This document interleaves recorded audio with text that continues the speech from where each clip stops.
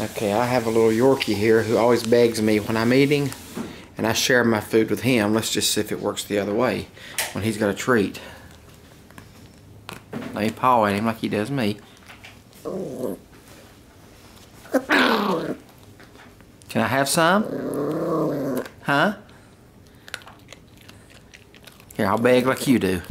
Let me get down here and beg. I always share with you. You gonna share with me?